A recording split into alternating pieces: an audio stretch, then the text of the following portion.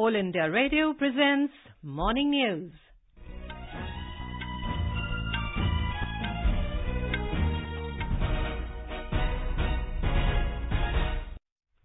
Good morning. I am Meenakshi Sant and with me is Subhadra Ramachandran.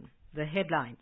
Prime Minister Narendra Modi to share his thoughts in the 89th episode of Mann Ki Baat program on All India Radio this morning.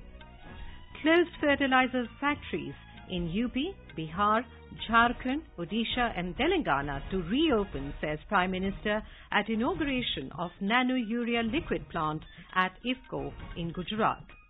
President Ramnath Kovind to inaugurate 59th General Assembly of All India Ayurved Mahasammelan in Ujjain today. Prime Minister to interact with orphan children across the country through video conferencing tomorrow under PM CARES scheme. 17th Mumbai International Film Festival for documentary, short fiction and animation films beginning in Mumbai today.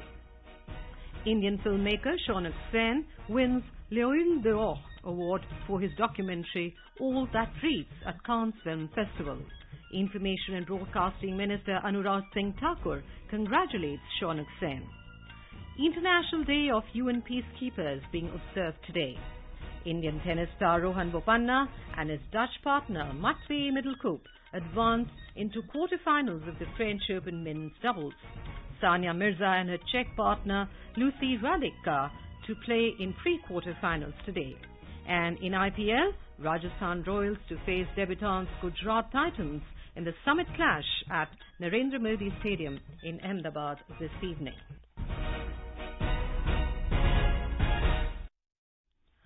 Prime Minister Narendra Modi will share his thoughts in the Mann Ki Baat program on All India Radio at 11 a.m. today.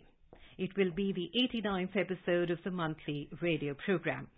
The program will be broadcast on the entire network of All India Radio and Doordarshan, AIR News website and News on AIR mobile app. It will also be live streamed on the YouTube channels of the AIR News, DD News, PMO and Information and Broadcasting Ministry. AIR will broadcast the program in regional languages immediately after the Hindi broadcast. The regional language versions will also be repeated at 8 p.m. Earlier, Prime Minister Narendra Modi had said that he got numerous inputs for this edition of Mann Ki Baat program. He had expressed happiness that youngsters shared their views in large numbers. The Prime Minister has also shared a booklet based on last month's episode of Mann Ki Baat containing interesting articles on the topics discussed in the program. Prime Minister Narendra Modi has said that we are moving forward in the direction of a model cooperative village. Addressing the Sehkar Sammelan on Sehkar Se Samriddhi at Mahatma Mandir in Gandhinagar, Gujarat yesterday, he said six villages of Gujarat have been earmarked where cooperative arrangements will be completely made available. Mr. Modi expressed happiness over the inauguration of the Nano Urea Liquid plant of IFFCO at Kalol. This plant has a capacity of manufacturing 1.5 lakh bottles per day, but eight more such plants will be established in India in the coming days.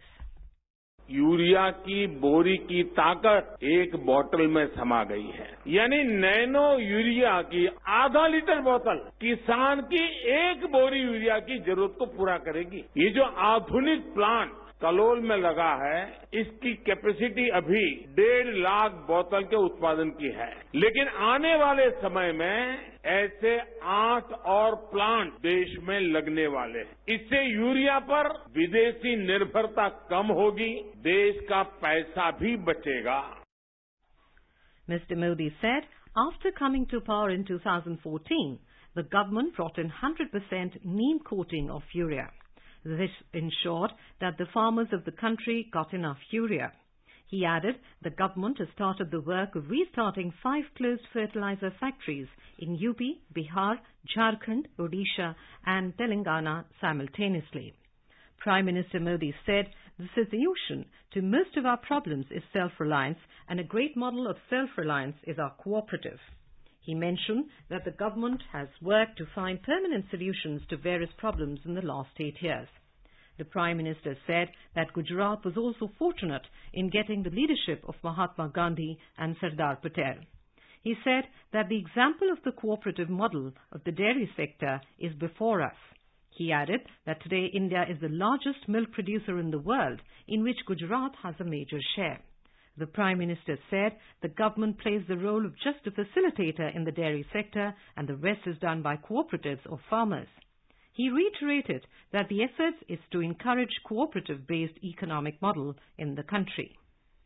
साथियों सबका साथ सबका विकास सबका विश्वास और सबका प्रयास इस मंत्र पर हम चल रहे हैं ये मंत्र अपने आप में सहकार की आत्मा ही है सहकार की सीमाओं के अंदर ही है ये मंत्र।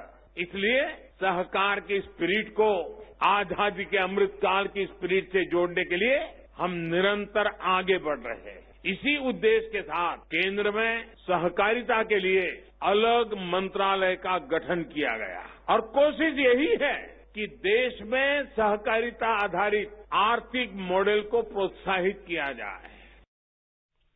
Mr. Modi emphasized that the biggest strength of a cooperative is trust and cooperation.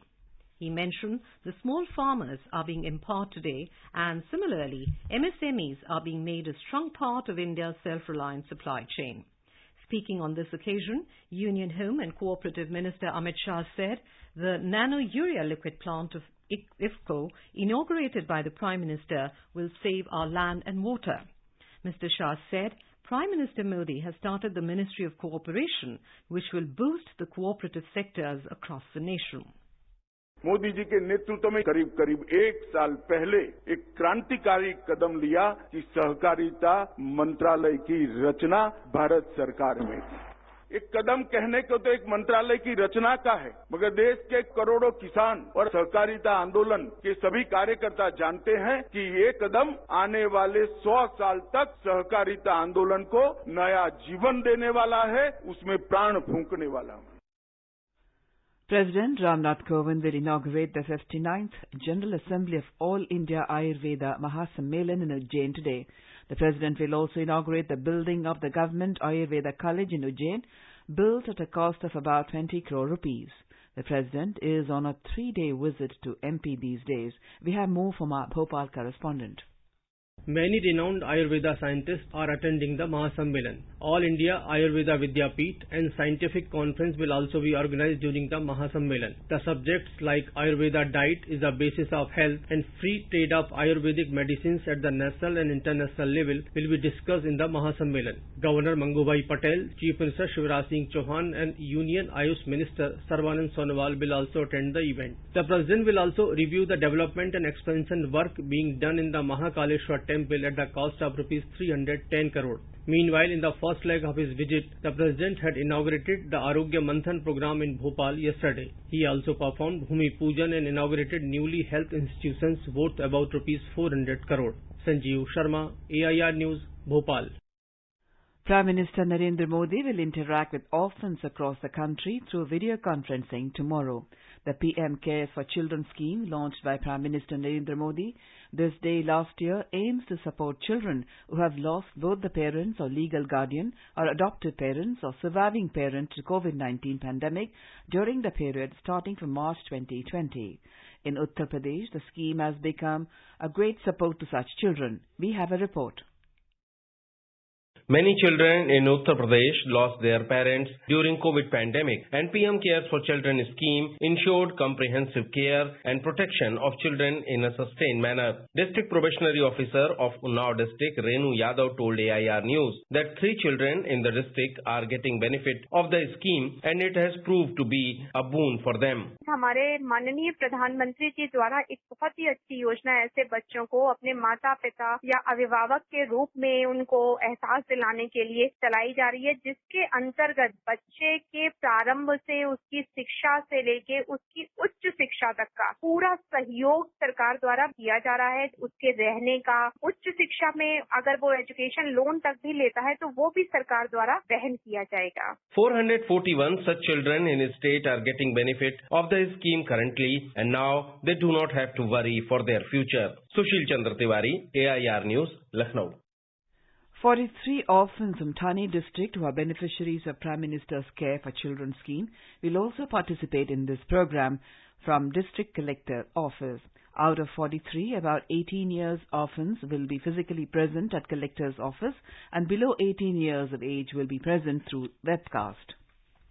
India's COVID vaccination coverage has crossed 193 crore 26 lakh so far. More than 12 lakh vaccine doses were administered yesterday. The Union Health Ministry said over 4 crore 97 lakh vaccine doses have been administered to children belonging to the age group of 12 to 14 years so far. Better connectivity is central for ease of doing business and it is the key priority of the Modi government, said Union Minister for External Affairs Dr. S. Jaishankar in Guwahati while inaugurating the third Natural Allies in Development and Interdependence NADI conclave. The Union Minister said India is more connected to the northeastern states and the states are also more connected to India's neighbors. Better connectivity will completely transform the region's economy. Instead of considering this region as frontiers, it may be regarded the hub for development as it has the resources and skills, he added. This region can be the outlet for India's global access, pointed out the Union Minister. Union Finance Minister Nirmala Sitharaman will deliver the valedictory address of the conclave on the 29th of May. You are listening to the morning news on All India Radio. A reminder of the headlines before we move on. Prime Minister Narendra Modi to share his thoughts in the 89th episode of Mann Ki Baat program on All India Radio this morning. Close fertilizers factories in UP, Bihar, Jharkhand, Odisha and Telangana to reopen, says Prime Minister at inauguration of Nano Urea Liquid Plant of IFFCO in Gujarat. President Ramnath Kovind to inaugurate the 59th General Assembly of All India Ayurveda Mahasammelan in Ujjain today. Prime Minister to interact with orphan children across the country through video conferencing tomorrow and the PM Cares scheme. The 17th Mumbai International Film Festival for Documentary, Short Fiction and Animation Films beginning in Mumbai today. Indian filmmaker Shaunak Sen wins L'Œil d'or Award for his documentary All That Breathes at Cannes Film Festival. Information and Broadcasting Minister Anurag Singh Thakur congratulates Shaunak International Day of UN Peacekeepers being observed today. Indian tennis star Rohan Bopanna and his Dutch partner Matwé Middelkoop advances into quarterfinals of French Open men's doubles. Sania Mirza and her Czech partner Lucie Hradecká to play in pre-quarterfinals today. And in IPL, Rajasthan Royals to face debutants Gujarat Titans in the Summit Clash at Narendra Modi Stadium in Ahmedabad this evening. For quick news updates round the clock, follow us on our Twitter handle at AIR News Alerts. Competition की अगर आप कर रहे हैं तैयारी तो उनके लिए ऑल इंडिया रेडियो पर हम लाए हैं अभ्यास। एक ऐसा कार्यक्रम जिसमें आप पूछेंगे सवाल WhatsApp number nine two eight nine zero nine four zero double four पर या फिर ईमेल करेंगे Abhyas dot A I R news at Gmail dot com पर। और हमारे विशेषज्ञ देंगे इसका जवाब। इस बार का विषय है एनवायरमेंट एंड क्लाइमेट चेंज और सवाल भेजने की अंतिम तारीख है एक जून। आपका अभ्यास हमारा प्रयास। अपने बिज़नेस को बढ़ाने के लिए लीजिए आकाशवाणी का सहयोग और दीजिए उसे बुलंदियों के पंख। आपका बिज़नेस लोकल है या राष्ट्रीय? आकाशवाणी देती है उपभोक्ताओं तक पहुँचने का हर विकल्प। और अब तो आप घर दफ्तर या दुकान पर बैठे बैठे कर सकते हैं आकाशवाणी के किसी भी केंद्र के लिए विज्ञापनों की बुकिंग। आकाशवाणी के विभिन्न चैनलों पर विज्ञापन देना सुलभ और सस्ता।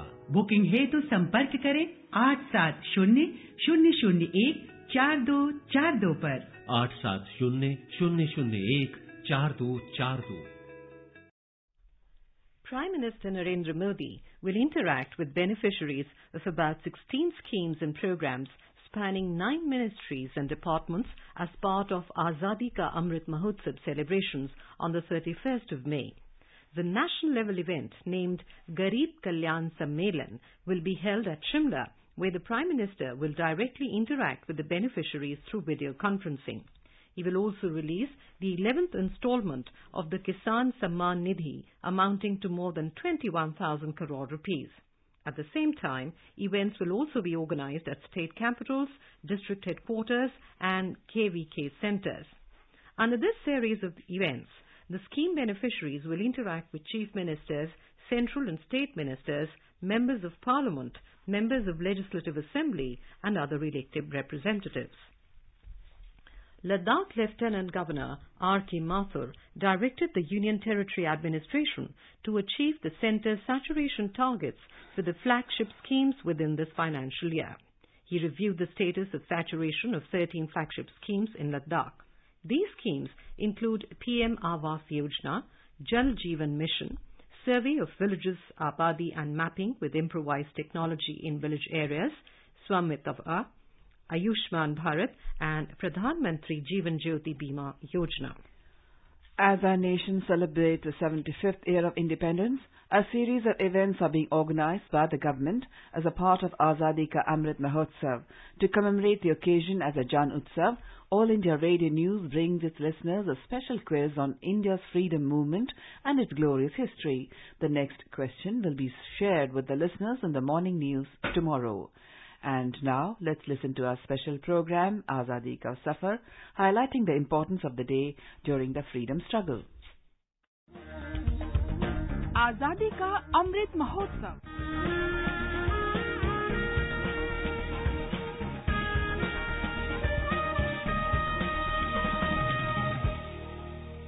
Azadi Ka Safar with AIR News. Birth of a Nation. India's glorious freedom struggle is one of the greatest struggles the modern world has ever witnessed. AIR News brings you a glimpse of the struggle every day.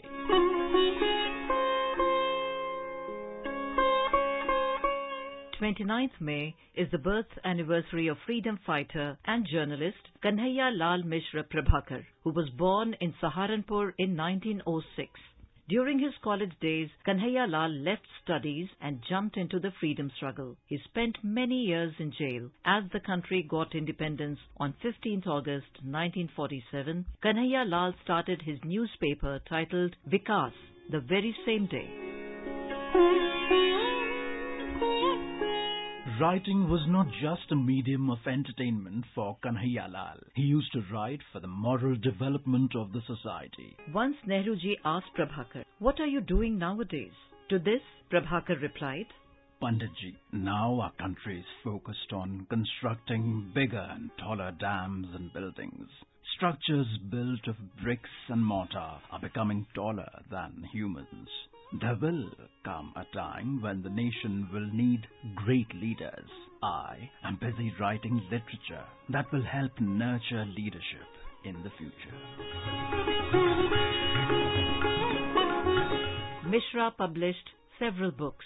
Deep Jale Shankh Baje, Mati Ho Gai Sona, Nai Peedhi Nai Vichar are some of his notable works. Kanhaiya Lal continued to work for the people of the country till his death in 1995. AIR News salutes the great nationalist.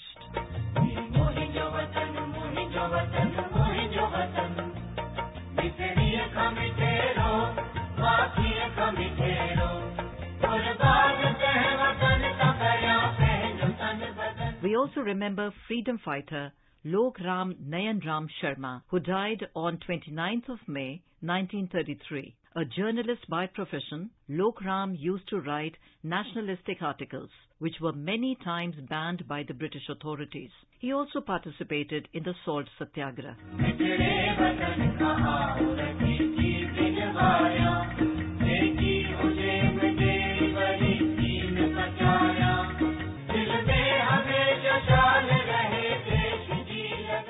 Ram was born in 1890 in the Sindh province. He had a special interest in the Sanskrit language. Due to this interest, at the age of 15, he went to Varanasi with his friend Guru Das to study Sanskrit. While living in Varanasi, he was introduced to anti-Bengal partition agitators. By the time he reached Sindh back in 1907, he was full of nationalistic sentiments. In his hometown, he associated with prominent Sindhi leaders Choithram Gidwani, Jairam Das, and Daulat Ram.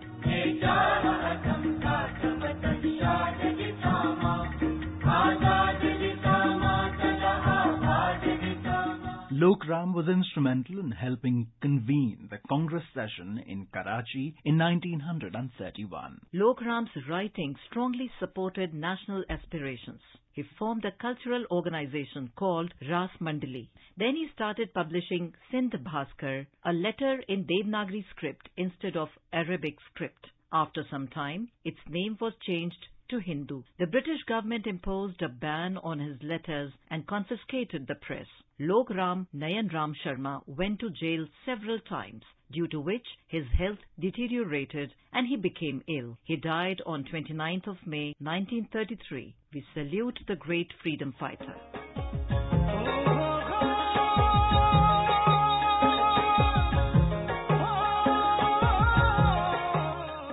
We also remember independence activist Somay Soren, a resident of Santhal Parganas, Jharkhand, who took active part in the Quit India movement of 1942. He was arrested for his anti-British activities and imprisoned in the Dumka jail. He died during imprisonment on the 29th of May 1943. We salute the great martyr.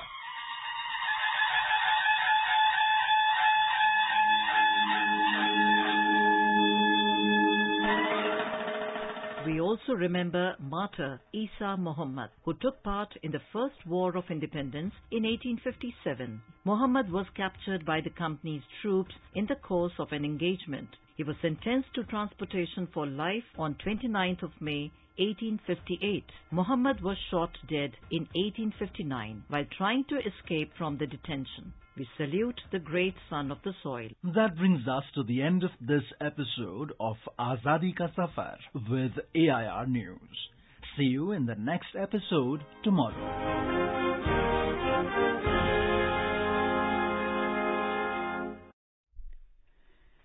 Union Minister for Sports and Youth Affairs Anurag Singh Thakur has said by the end of this year, increased honorarium will be approved for wrestlers who are undergoing training in different institutes across the country. He was speaking after inaugurating a training facility for women at Gulshe Thalam, one of the oldest training camps in Pune yesterday.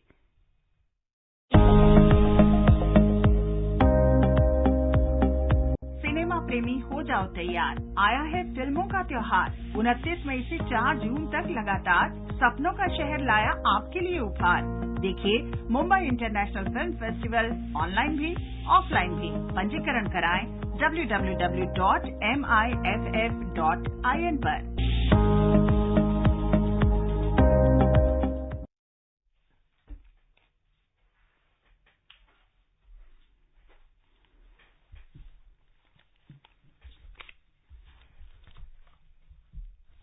The 17th Mumbai International Film Festival for Documentary, Short Fiction and Animation Films will begin in Mumbai today.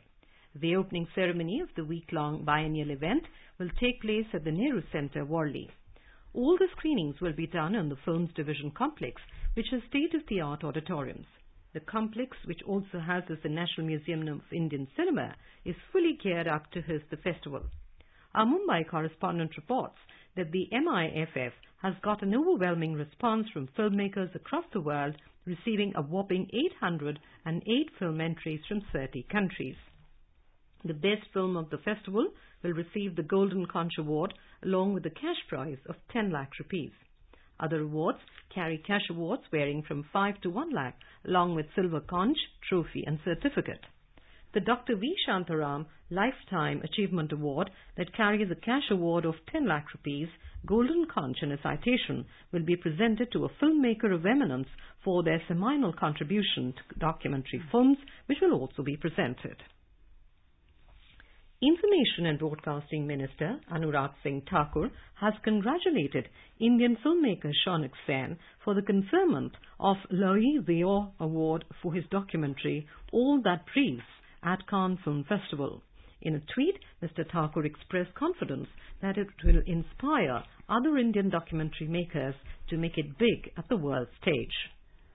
Having served the nation and the Indian Navy with great distinction for 34 eventful years, INS Gomti was decommissioned at sunset at the Naval Dockyard in Mumbai yesterday in an elegant, solemn and poignant ceremony. The ship was paid off under the command of Captain Sudeep Malik. INS Gomti derives her name from the vibrant river Gomti and was commissioned on 16 April 1988 by the Honorable Raksha Mantri Sri K.C. Pant at Mazagon Dock Limited, Bombay. After her decommissioning, the ship's legacy will be kept alive in an open-air museum being set up by the picturesque banks of the eponymous river Gomti in Lucknow, where several of her combat systems will be displayed as military and war relics.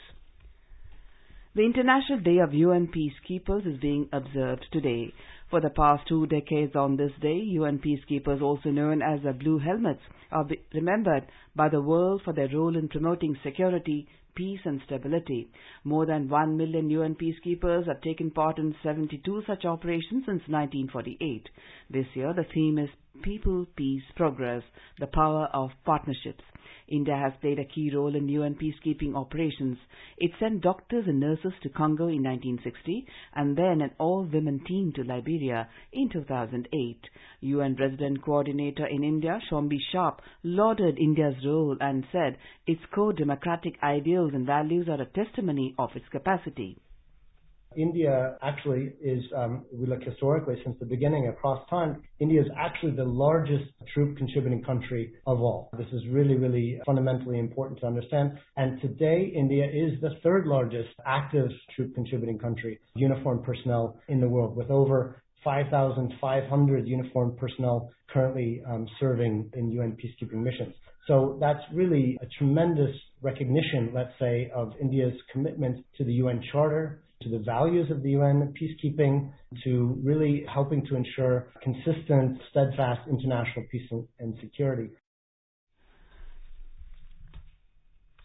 In French Open tennis, Indian tennis star Rohan Bopanna and his Dutch partner Matwé Middelkoop advanced to the men's doubles quarterfinals, beating the reigning Olympic champions Nikola Mektic and Mate Pavić in Paris yesterday. Bopanna and Middelkoop beat second-seeded pair 6-7-7-6 in the third round.